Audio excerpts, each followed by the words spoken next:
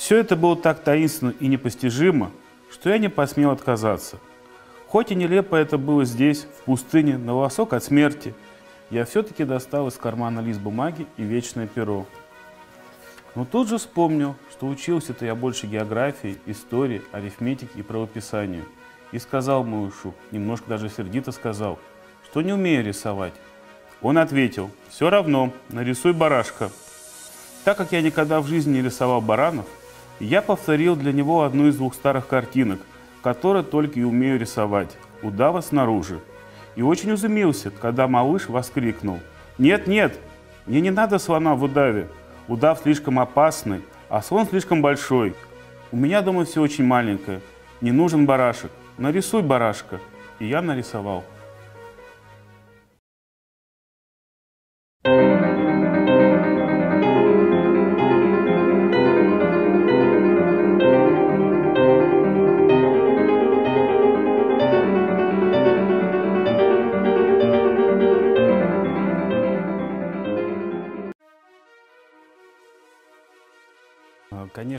Читал произведение «Маленький принц», и причем читал несколько раз, э, и каждый раз это новые впечатления, новые эмоции, потому что с возрастом ты оцениваешь немножко по-другому каждое произведение.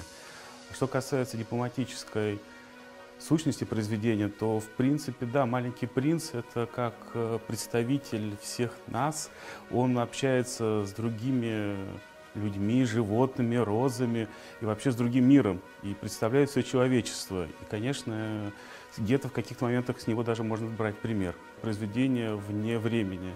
Его можно читать и нужно читать. И даже перечитывать, я бы сказал, со временем.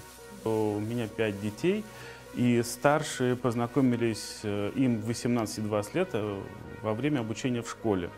Сейчас они перечитывают это произведение и также помогают малышам, это 8 и 10 лет,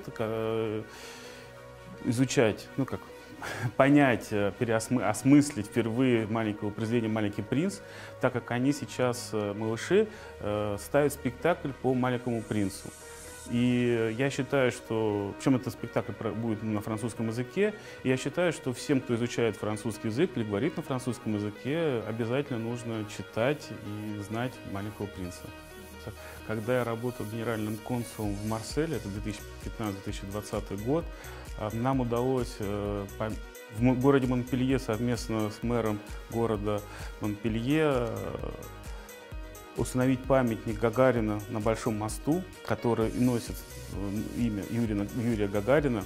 И этот мост, э, он находится на трассе, которая соединяет Марсель и Барселону. И все, кто едут по этой трассе, видят Юрия Гагарина, который смотрит на Россию, раскрыв объятия. И получается, что вот в городе Монпелье два э, объекта. Это мост, который носит Юрия Гагарина, имя Юрия Гагарина, и сам бюст, сам большой памятник Юрия Гагарина. Также недалеко от Марселя есть остров Бандор, который принадлежит э, семье Рикаров.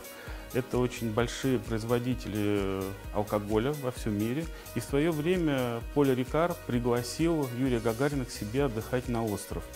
Я это узнал эту историю, которая как бы забыта была, а, посетив их музей алкогольной продукции, где увидел бутылку вина с изображением Юрия Гагарина.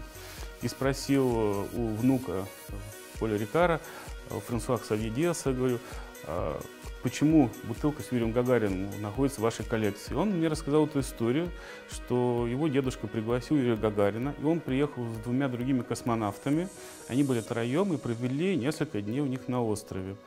После чего я предложил Аксавидиусу установить памятный знак на острове в честь пребывания Юрия Гагарина, потому что такой малоизвестный факт, белая страница в истории. И благодаря галерее С и ее руководитель Олеся Суджан которая разработала памятный знак, мы установили этот знак, когда была делегация Москвы в Марселе. Это было очень красочное мероприятие, и теперь, вот, когда посетители, этот э, остров э, является открытым, приезжают туда, они, сходя с корабля, видят эту табличку большую, где изображен Юрий Гагарин, и написано, что вот Юрий Гагарин по приглашению Поля Рикара посетил этот остров. И также мы сделали совместно с внуком, с Исааком Едесом, ограниченный выпуск э, вина с изображением Юрия Гагарина. То есть как бы теперь в музее находятся две бутылки вот того года, когда он был, и вот несколько лет назад, когда мы делали.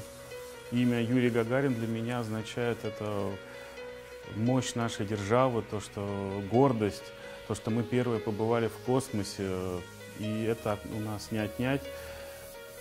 Впервые это, конечно, я услышал в школе, в начальном классе, в начальной школе. И э, это чувство гордости, чувство, что мы отличаемся чем-то от других, э, конечно, преследует, идет за мной всю жизнь. Я вспоминаю момент такой, когда я работал в посольстве Фран... России во Франции, то я участвовал в выставке, которая была посвящена космосу. И главный, конечно, экспонатом это была большая фотография Юрия Гагарина. И, к моему удивлению, многие французы не знали, кто это за человек. И рядышком были китайцы, которые подошли и сразу сказали, а, это же Юрий Гагарин, первый человек, который полетел в космос.